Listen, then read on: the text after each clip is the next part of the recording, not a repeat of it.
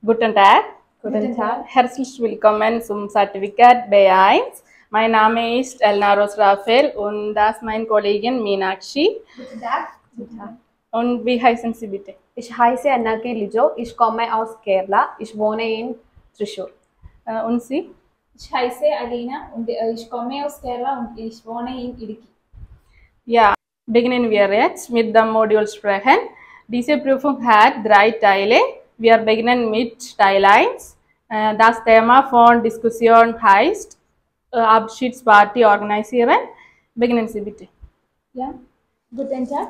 Wie geht es dir? Mir geht's gut, danke. Und dir? Mir geht es auch gut.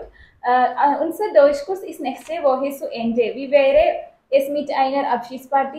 Äh, der Vorsch äh, Vorschlag gefällt mir. Ich mache gerne mit. Äh, hast du eine Idee? Wann können wir machen?